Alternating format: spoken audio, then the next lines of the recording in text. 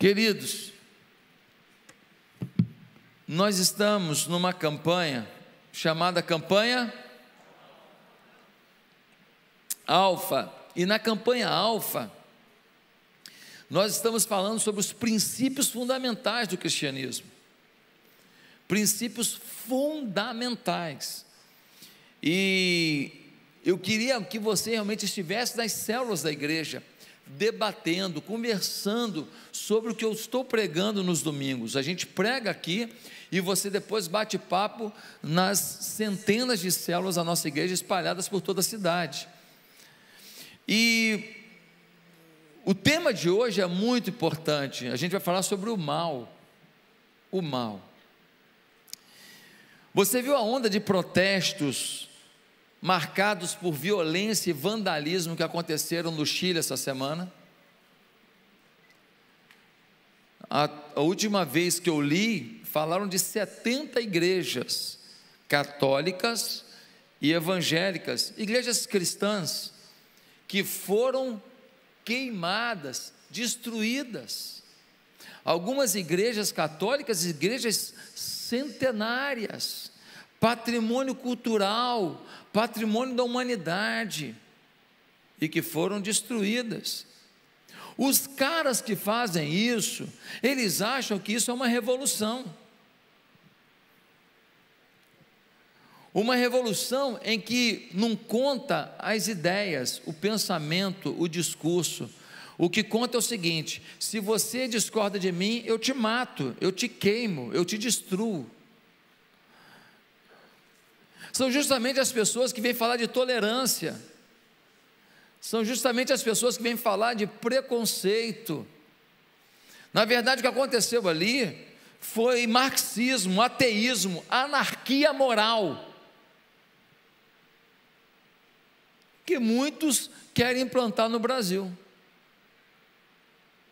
Já conseguiram na Venezuela, já estão conseguindo na Argentina, e agora o Chile está passando por isso. Sabe o nome disso? Maldade. Nós temos amor suficiente para perdoar as pessoas que fazem isso, amá-los e levá-los pelo caminho da bondade, da justiça. Mas, nossa oração é que eles sejam presos agora, julgados, condenados, porque ninguém pode chamar de ideologia o que é vandalismo e maldade. Deixa eu te fazer uma pergunta. Diante das maldades que o mundo vive hoje, qual delas você gostaria de eliminar primeiro? Ah, pastor, uma maldade que eu queria eliminar é a fome. Ah, é, é, a desigualdade social, há as guerras, há o egoísmo. Eu queria eliminar a dependência química. Quais são as maldades que, se você pudesse, você eliminaria? Queridos, o livro de Efésios diz que existem forças espirituais do mal agindo no mundo. O Novo Testamento diz que essas forças são coordenadas por um ser chamado Diabo. Quem é o diabo? O diabo era um anjo que foi criado por Deus com a mesma condição que eu e você temos de escolha. Fomos feitos à imagem e semelhança de Deus, portanto, com a capacidade de escolha.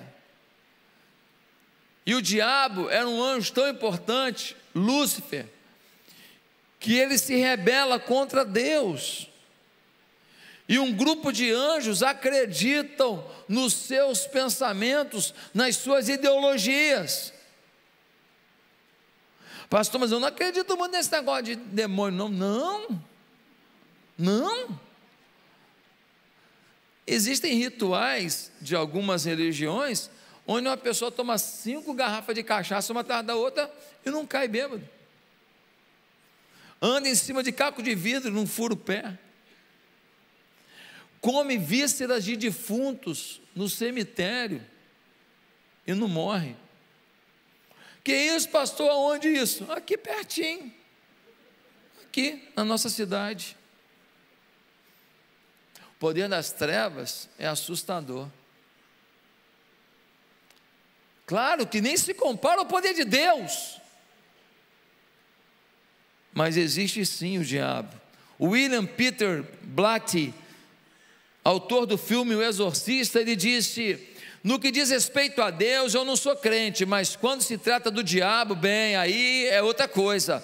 O diabo vive se promovendo. O diabo é melhor que político em campanha, que é só de quatro em quatro anos.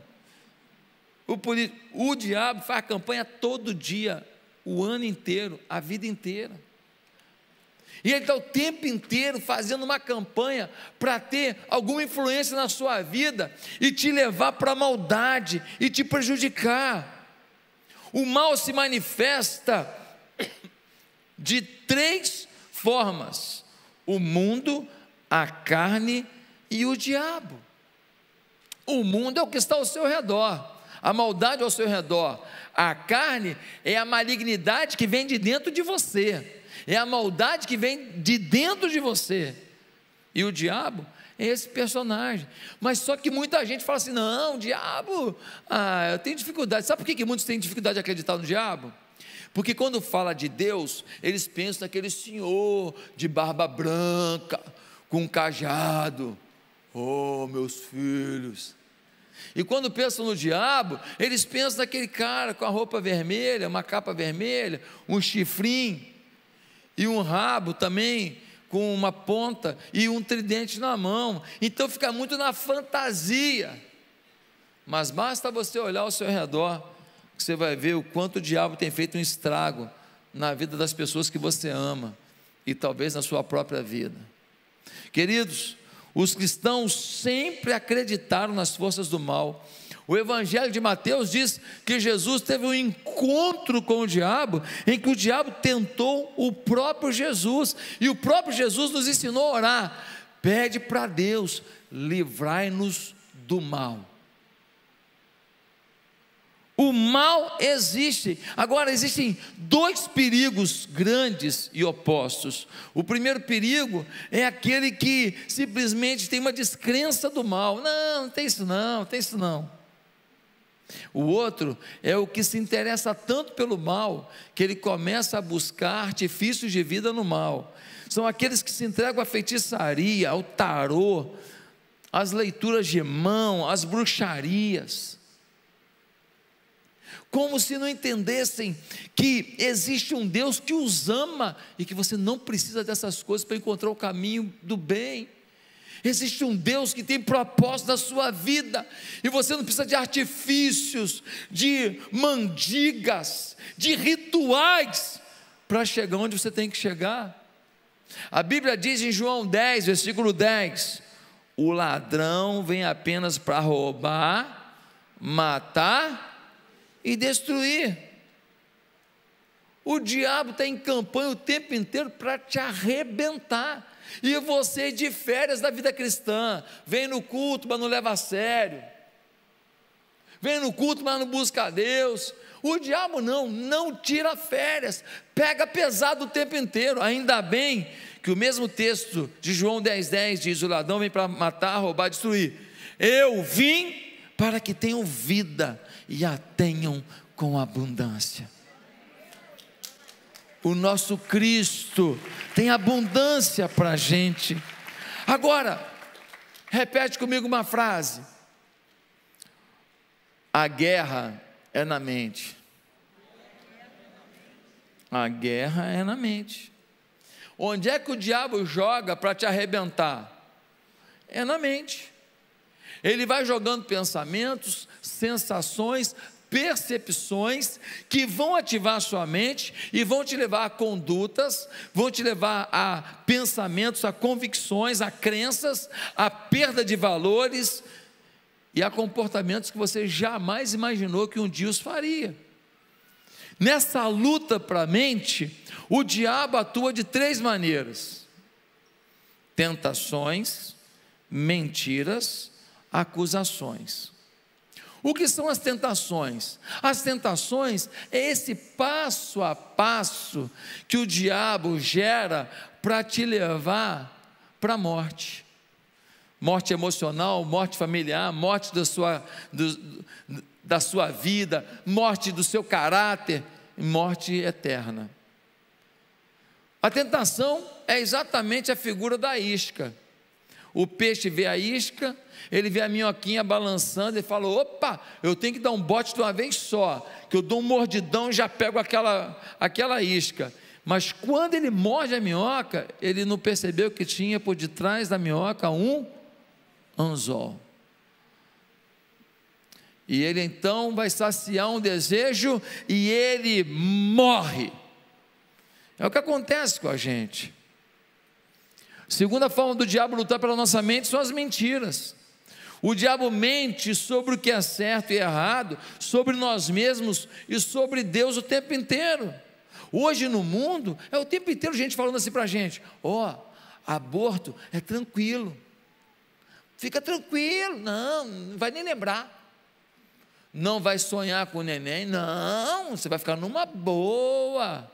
Divórcio, ah, divorcia mesmo, a fila anda, the line goes. É, é, vem até com expressão em inglês, é, a gente fica, fica tranquilo, não tem consequência nenhuma. Os filhos entendem, meus filhos entenderam bem, o senhor também vai entender, entende? Não estou atacando ninguém que passou por isso, não, só estou dizendo que não é simples, você sabe disso.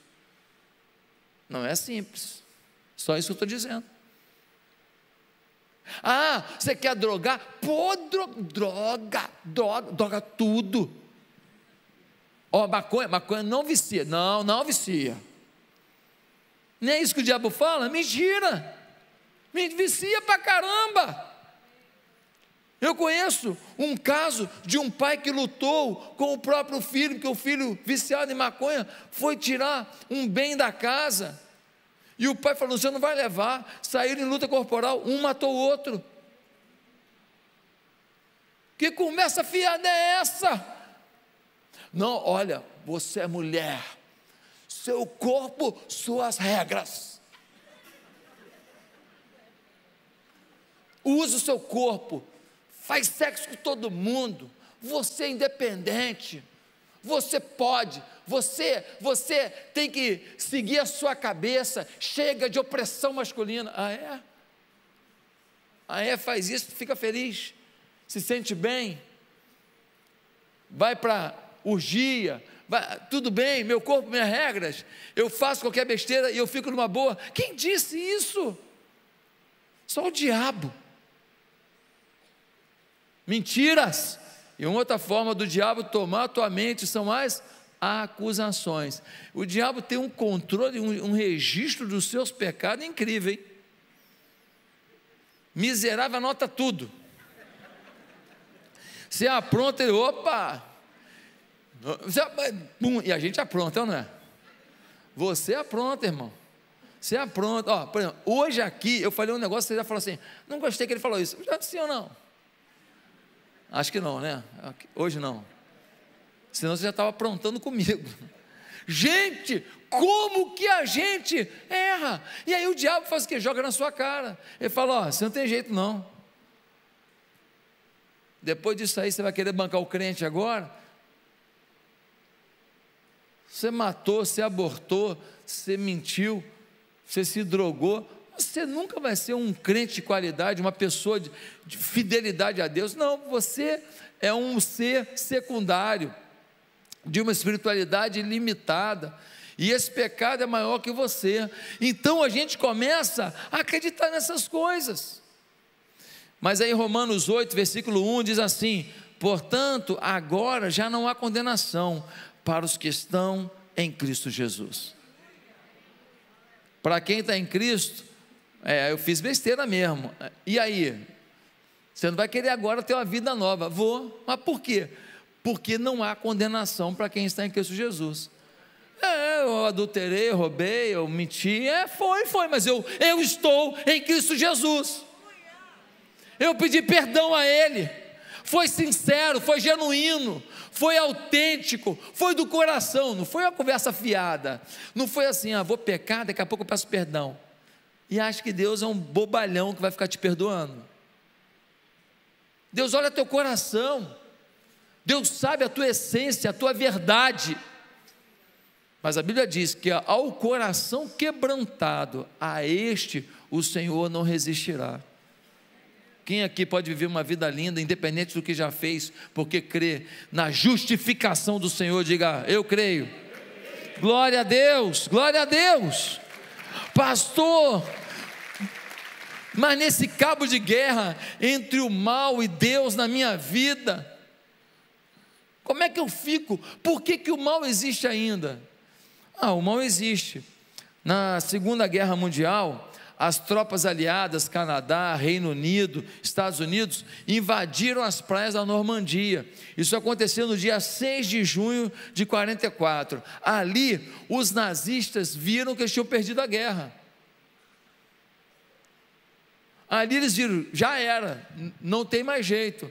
No entanto, os nazistas continuaram lutando por mais 11 meses. E só no dia 8 de maio de 1945 é que eles realmente levantaram a bandeira branca e falaram: perdemos a guerra. O que quer dizer isso, pastor? O que quer dizer é que em Cristo você já é perdoado, é vitorioso, você já tem vida eterna, a tua vitória está garantida. No entanto, o diabo sabe disso, mas ele não quer se entregar. Ele sabe que ele perdeu, ele sabe que ele não é páreo para o teu Deus, ele sabe que a tua vida, com a tua situação financeira, a tua situação de dificuldade relacional, problema com o teu filho, de um dia para a noite Deus muda tudo pela sua glória. Ele sabe que o poder de Deus pode mudar a tua história num dia. Só que ele fica ali, lutando, já perdeu a batalha, já sabe que não tem mais jeito, mas está lutando, matando os soldados, matando os soldados à toa. Foi isso que a Alemanha fez, matou os soldados à toa, sabia que não tinha mais jeito. O diabo sabe que não tem mais jeito, mas ele fica futucando, tentando persuadir alguém.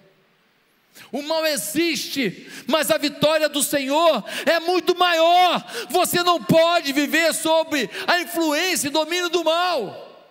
Como resistir? Primeira coisa, nós vamos ler o texto de Efésios capítulo 6. Efésios capítulo 6 vai nos dar a resposta. O apóstolo Paulo, escrevendo à igreja de Éfeso, no capítulo 6, a partir do verso 10, vai responder isso. Como é que a gente vai resistir ao mal? Está comigo? Efésios 6, 10 diz assim: Finalmente, fortaleçam-se no Senhor e no seu forte poder, vistam toda a armadura de Deus, para poderem ficar firmes contra as ciladas do diabo, pois a nossa luta não é contra os seres humanos, mas contra os poderes e autoridades contra os dominadores deste mundo de trevas e contra as forças espirituais do mal nas regiões celestes. Por isso, vistam toda a armadura de Deus, para que possam resistir no dia mal e permanecer inabaláveis, depois de terem feito tudo Assim, mantenham-se firmes, cingindo-se com o cinto da verdade, vestindo a couraça da justiça e tendo os pés calçados com a prontidão do evangelho da paz. Além disso, usem o escudo da fé, com o qual vocês poderão apagar todas as setas inflamadas do maligno. Usem o capacete da salvação e a espada do Espírito, que é a palavra de Deus. Orem no Espírito em todas as ocasiões, com toda oração e súplica. Tendo isso em mente, estejam atentos e perseverem na oração por todos os santos. Orem também por mim, para que quando eu falar, seja me dada a mensagem, a fim de que destemidamente torne o conhecido o mistério do Evangelho, pelo qual sou embaixador preso em correntes. Orem para que permane permanecendo nele, eu fale com coragem, como me cumpre fazer. Aqui nós temos um tratado de Paulo sobre a resistência ao mal. E a primeira coisa que Paulo nos ensina aqui: você quer vencer o mal? Conheça o seu oponente. O versículo 11 vai dizer: ó,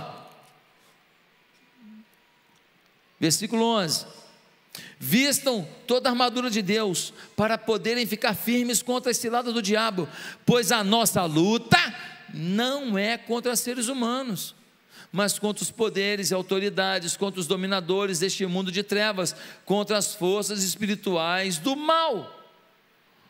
Se eu quero vencer o mal, eu preciso entender que eu não sou inimigo daquele que hoje me ofende, que tem alguma coisa por trás dele que é muito pior do que ele. E que essa força por trás dele é que quer me tirar do eixo da vontade de Deus.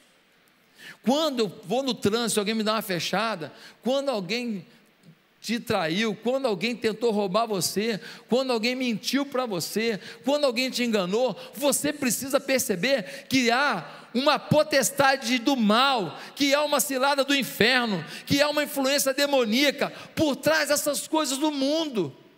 O seu inimigo não é a pessoa que fez isso, senão você vai criar um monstro dentro de você, que é um desejo de vingança de uma pessoa.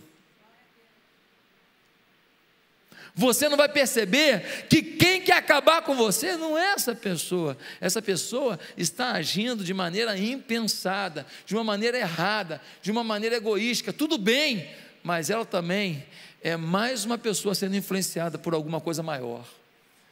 O que está em jogo não é uma luta humana, uma luta da carne contra a carne. O que está em jogo é uma luta espiritual. Eu tenho que resgatar a minha espiritualidade para vencer o poder das trevas. Senão eu transformo alguém em meu inimigo, transformo alguém em, em meu alvo, meu objeto de vingança. O que, que eu ganho com isso? Eu me torno uma pessoa pior ainda. O outro se arrepende do que fez, vai para Deus, e eu, com a minha mágoa, fico fora de Deus.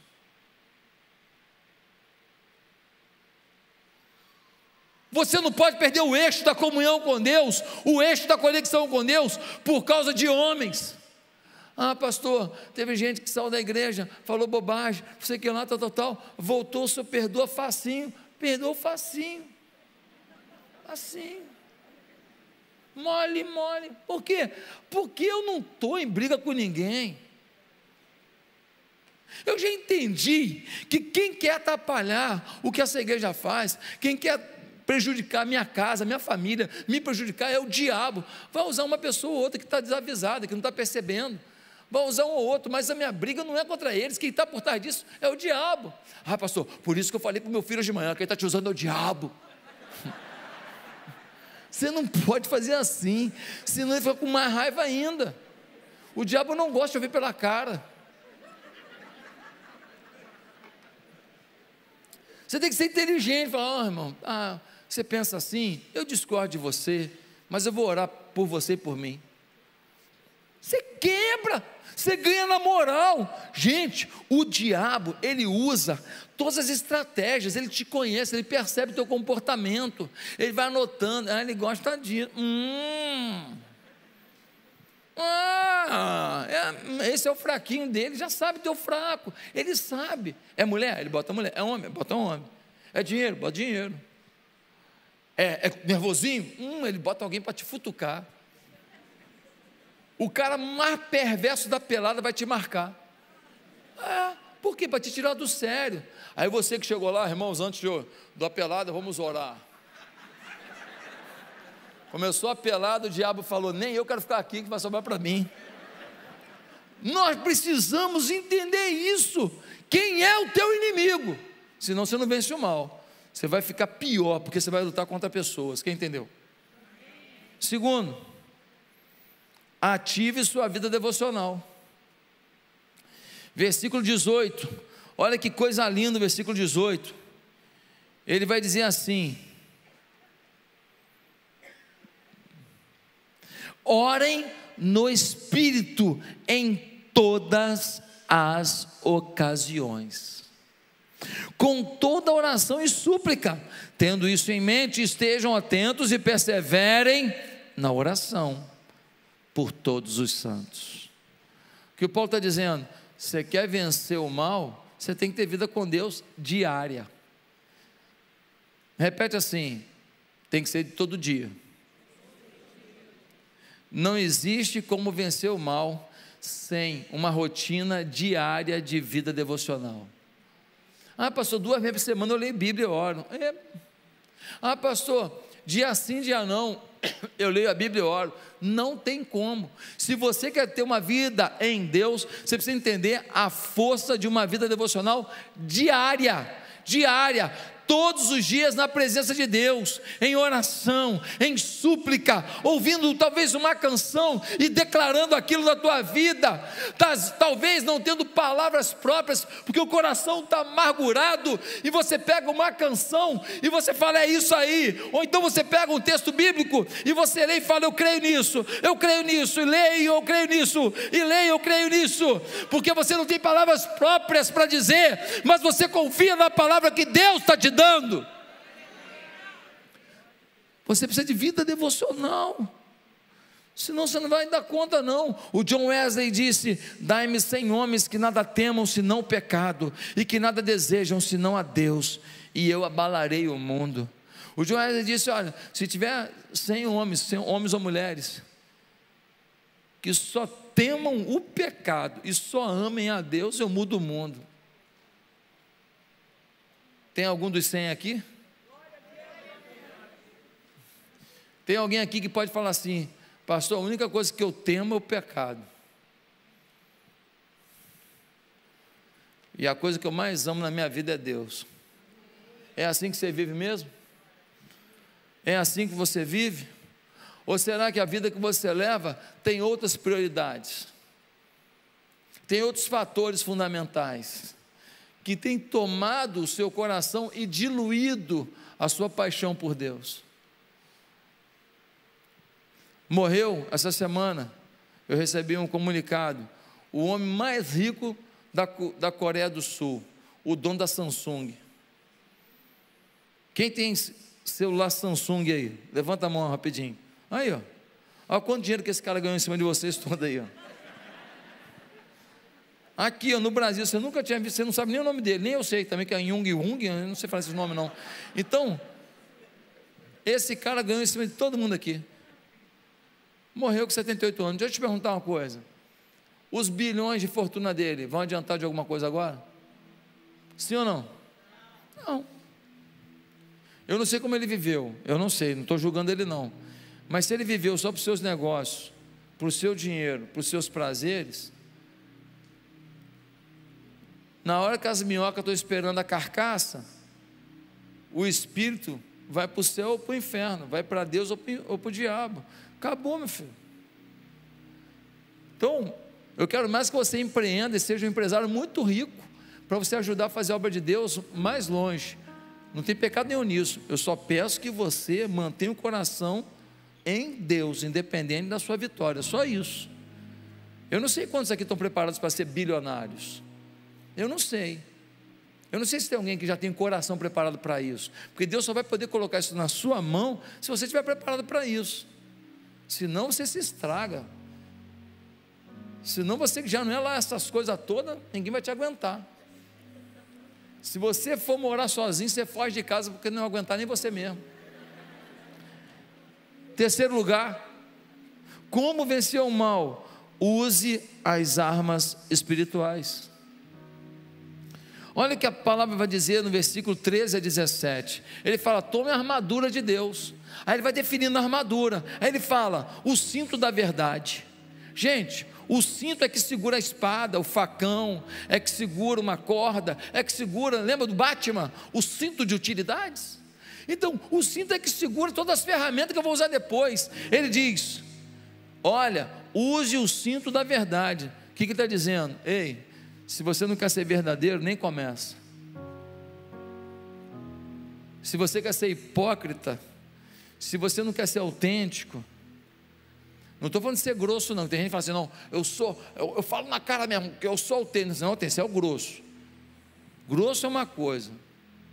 Falar com as pessoas, você pode falar de várias maneiras a mesma coisa.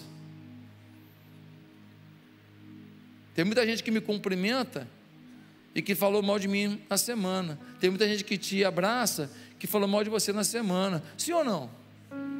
Sabe o nome disso? Hipocrisia.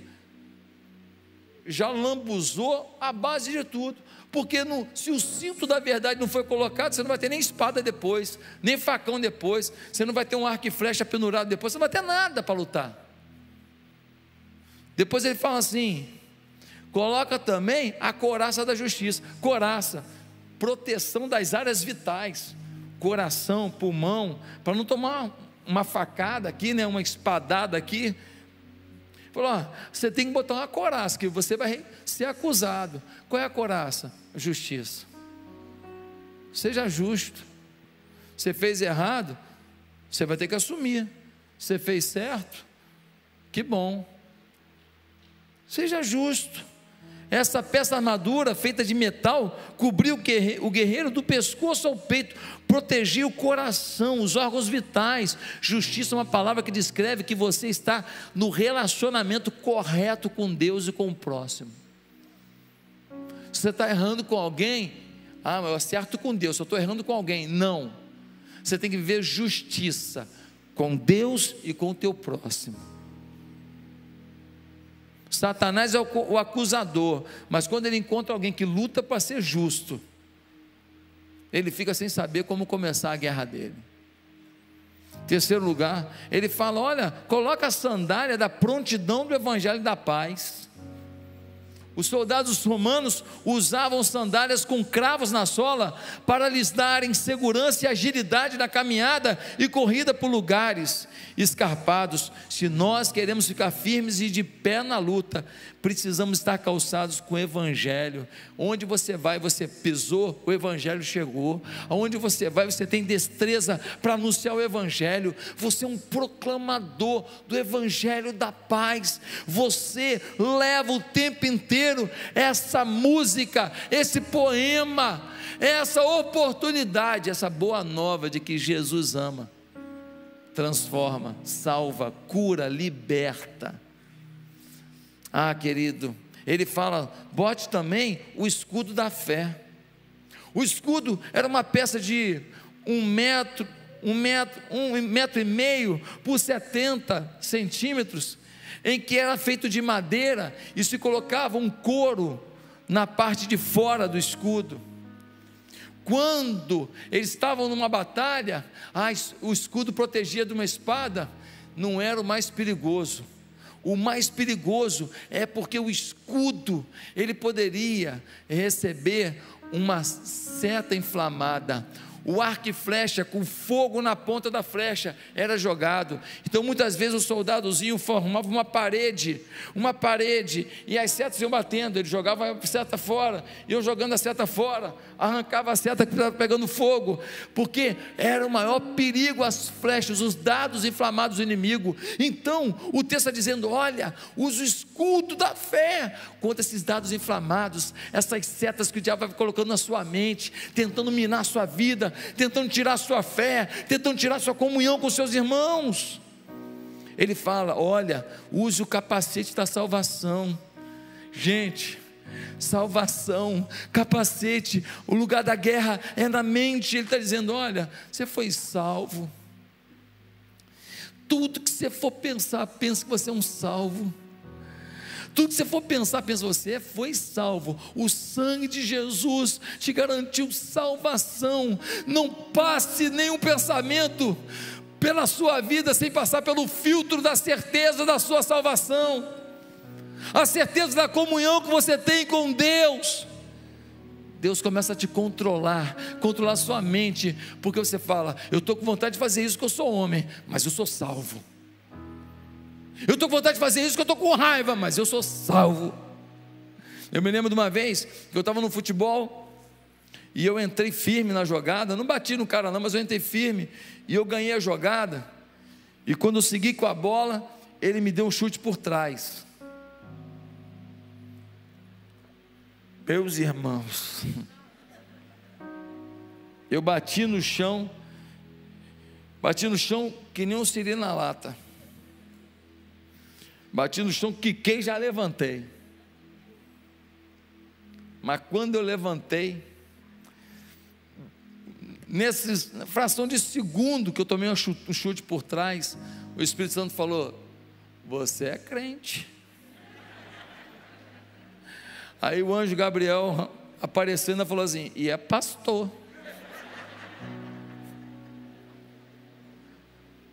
Eu levantei, virei para ele, e eu ainda tinha um motivador a mais para pensar em vingança, porque ele era mais baixo que eu.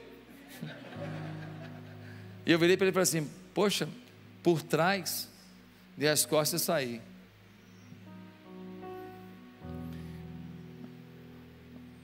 Cheguei em casa chateado, tomar um chute pelas costas não é bom não.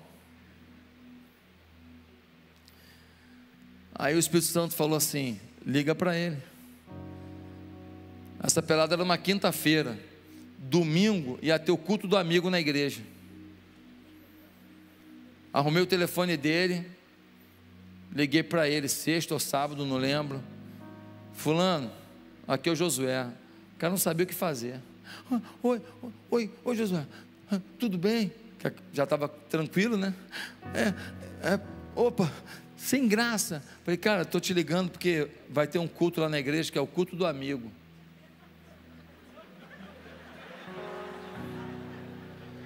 E eu tenho maior carinho por você. E Deus está me incomodando aqui para te ligar. E o, e o meu lado ruim falando assim, mas está te devendo. Estou brincando, estou brincando. Falei, então queria te convidar para o culto do amigo. Pensa num cara que estava quebrado. Falou, Josué, olha só, queria te agradecer demais por ter feito isso. Eu estava tão incomodado, cara, com o que eu fiz, eu queria te pedir perdão. Eu não consigo no culto do amigo domingo, porque eu tenho um compromisso. Mas, cara, você salvou meu final de semana. Lá na pelada, a galera soube o que eu tinha feito. Fiquei famoso. Porque a bondade sempre prevalece sobre a maldade.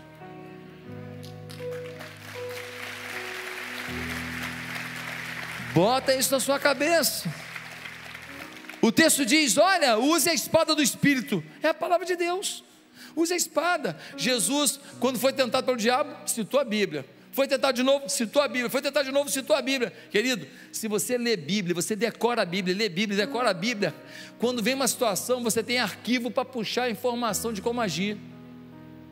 Você vai lá, opa, como eu vou agir nessa situação? Uh, opa, é isso. E você vai agir à luz do Espírito. Por quê? Porque você tem arquivo bíblico na sua vida. Não lê Bíblia, não ora, não, até sabe uma história bíblica, até sabe um texto bíblico, mas não está em comunhão, em contato com a Bíblia. Você não tem a forma, o, o seu gigabyte aí de, de velocidade da sua internet espiritual aqui, ó, está fraco. Você demora muito para acessar e já faz besteira. Em último lugar, como podemos resistir ao mal? Vença o mal fazendo bem. Simplesmente isso. O mal está aí, não vai sair, está aí querendo aparecer. E o caminho do cristão é fazer o bem. Por isso que Romanos 12, 21 diz: Não se deixem vencer pelo mal, mas vençam o mal com o bem. Por isso que Martin Luther King disse: a escuridão não pode expulsar a escuridão, apenas a luz pode fazer isso. Pastor, mas a pessoa que me fez o mal, eu ainda faço bem, é, é a única coisa que cura você. É a única coisa que faz você não ficar com um sentimento de vingança. É a única coisa que faz você se tornar uma pessoa melhor. É a única coisa que faz você se sentir com grandeza. É a única coisa que faz você se sentir mais parecido com Jesus. É você fazer o bem até para quem não está merecendo, aparentemente falando.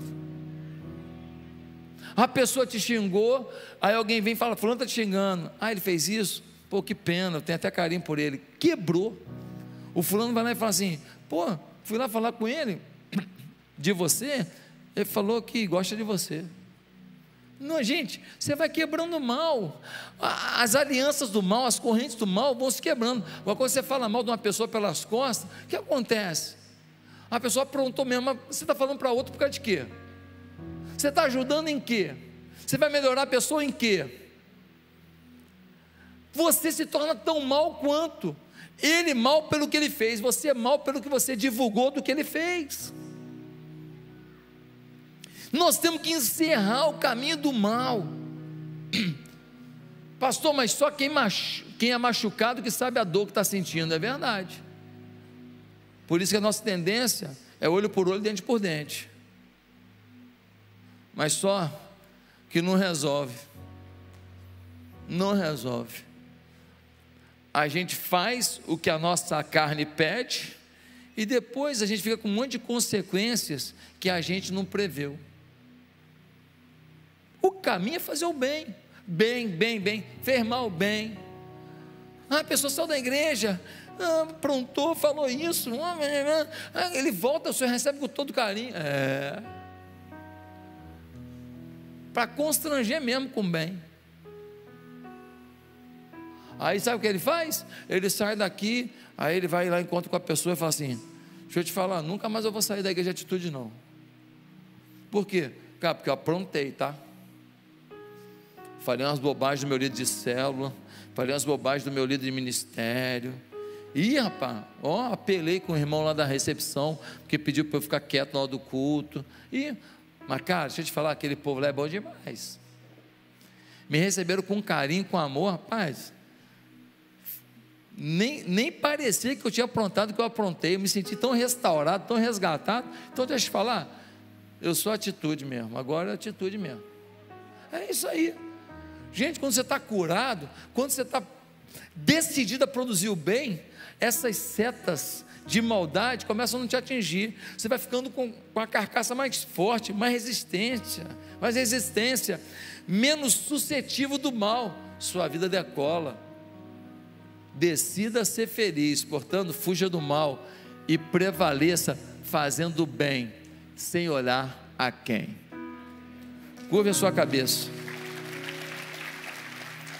Curva a sua cabeça nesse momento e se você quer começar uma nova vida com Jesus hoje. Você reconhece que você nunca entregou seu coração a Jesus realmente. Você reconhece que você nunca se entregou para Ele de verdade. Mas você quer fazer isso hoje? Aonde você está? Se você quer que essa bondade de Jesus reine na sua vida, eu queria que você repetisse uma oração comigo. Em casa, na internet, faz a oração aí. Ou então aqui. Se você quer começar uma nova vida com Cristo, repete assim. Ninguém precisa ouvir no seu coração. Santo Deus, eu peço perdão dos meus pecados e eu peço que a tua bondade domine a minha vida. Eu quero ser cheio do teu espírito, quero ser cheio do teu amor. Eu quero vencer o mal com o bem. Eu quero ter força e planejamento para ter vida devocional diária. Eu já entendi isso. Senhor, eu quero usar as armas espirituais que a tua palavra me dá. Senhor, eu quero mostrar para o mundo que eu sei quem é o meu inimigo. Não é a pessoa, não é quem me fez o mal. Não é nem quem deu um tiro em alguém que eu amo. A minha luta não é contra a carne, nem contra o sangue, é contra o diabo e seus demônios. Senhor, muda a minha história em nome de Jesus. Amém. A igreja continua de cabeça baixa. E eu queria perguntar: quantos aqui fizeram esta oração comigo, dizendo, Eu quero uma nova vida em Jesus? Se você fez essa oração comigo, levante bem alto a sua mão e abaixo em seguida, eu quero orar por você. Deus abençoe, Deus abençoe, Deus abençoe, Deus abençoe, Deus abençoe, Deus abençoe, Deus abençoe, Deus abençoe, Deus abençoe, Deus abençoe, Deus abençoe, Deus abençoe, Deus abençoe, Deus abençoe, Deus abençoe, pode baixar a mão. Deus abençoe, Deus abençoe, glória a Deus. Há mais alguém começando uma nova vida com Jesus? Levante bem alto a sua mão, você que não levantou sua mão ainda, Deus abençoe lá atrás. Glória a Deus. Mais alguém dizendo, eu quero uma nova vida em Cristo. Levante bem alto a sua mão, Deus te abençoe, Deus abençoe vocês. Que maravilha na vida de vocês. Mais alguém dizendo isso? Eu quero uma nova vida com Jesus, pastor, ore por mim. Levante bem alto a sua mão, eu quero orar em seu favor. Tem alguém? Mais alguém? Aonde? Deus abençoe. Mais alguém? Deus abençoe. Pode baixar a mão lá atrás. Mais alguém? Tem alguém afastado do Evangelho, querendo voltar hoje? Levante bem alto a sua mão. Eu quero orar por você. Tem alguém afastado, querendo se voltar para Jesus? Deus abençoe. Pode baixar a mão. Mais alguém? Mais Deus abençoe. Deus abençoe lá atrás. O Senhor está falando com você ou não? Se Ele está falando, atenda. Se Ele não está falando, fique como está. Mas se Ele está falando com você, que é com você essa decisão, levante sua mão para Jesus. Diga: Eu quero uma nova vida a partir de hoje. Há mais alguém? Levante bem alto a sua mão. Eu quero orar por você. Mais alguém? Agora você em casa está tomando essa decisão? Tem um WhatsApp aqui embaixo, está vendo? Um número de telefone, WhatsApp. Você vai nesse WhatsApp para escrever: Eu quero Jesus. Nós vamos entrar em contato com você. Vai lá, eu quero Jesus. Nós queremos ajudar você na caminhada da fé. Tá bom? Você que está em casa, pode escrever aqui no WhatsApp. Não vai ser a internet vai atrapalhar a gente, não, vai ajudar a gente. Vamos lá. Agora você que levantou a mão, me faz um favor. Queria pedir que você ficasse de pé no seu lugar, aonde você está. Ninguém precisa é, vir aqui à frente, não. Todos que levantaram a mão, são muitas pessoas. Vou pedir para os líderes de célula, todos eles vêm aqui para frente, não vão precisar. Todo mundo que levantou a mão, por favor, fica de pé no seu lugar. Fica de pé, isso. Fica de pé, lá, lá atrás, lá atrás também, isso. Fica de pé. Nós queremos orar por você. Aqui à direita tem mais alguém? Fica de pé. Olha lá, gente, lá atrás tem gente lá. Isso. Nós vamos cantar apenas uma vez uma cançãozinha aqui. Enquanto isso, as pessoas vão chegar até você, nós vamos orar e encerrar o nosso culto. Tá bom? Vamos lá, pastor Felipe. O meu Deus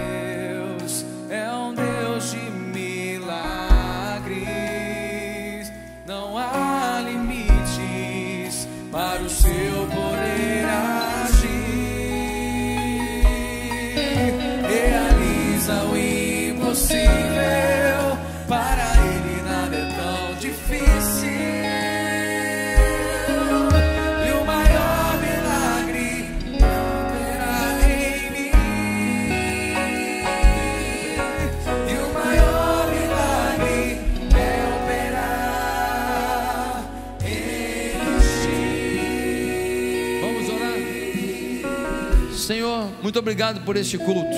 Muito obrigado por tudo que o Senhor nos falou nesta manhã. Leva-nos aqui debaixo da tua proteção e do teu poder. Que cheguemos em nossas casas convictos, algo novo tomou conta do nosso coração, da nossa vida. Senhor, que esse, essa semana seja uma semana de muita vida devocional, de muita comunhão contigo e de muita sabedoria para cada decisão nós decretamos o fim do domínio do mal sobre qualquer área da nossa vida e declaramos o início de uma majestade do bem em nosso coração e em nossas atitudes. Abre portas essa semana, repreende o devorador sobre as nossas vidas, que negócios sejam fechados, que ações da justiça sejam liberadas. Deus, que essa semana o teu povo prove do teu poder como nunca provou.